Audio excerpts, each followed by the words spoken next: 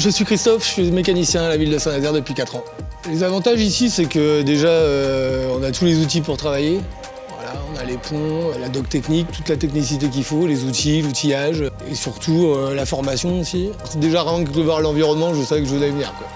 Même sans savoir ce qu'il allait avoir à faire. euh. Moi, ce qui me plaît le plus ici, c'est la diversité du métier, c'est le fait qu'aucune journée se ressemble, avec des véhicules qui évoluent, des technologies qui évoluent et différents matériels utilisés.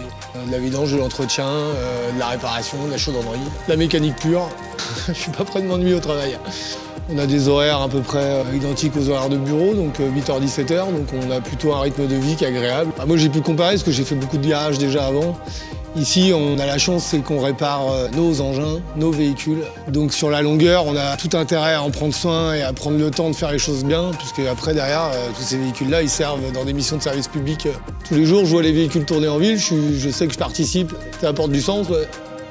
Il y a un très bon état d'esprit dans le garage. Il y a une ambiance euh, de copains un peu et puis euh, surtout d'entraide. On a une moyenne d'âge qui est un peu jeune, je pense, 35-40, avec certains qui ont un peu de bouteille et puis d'autres qui ont plein de trucs à apprendre et plein de volonté et plein d'engouement. Donc euh, le but c'est de se former les uns avec les autres, de devenir un peu autonome chacun aussi sur tout le matériel.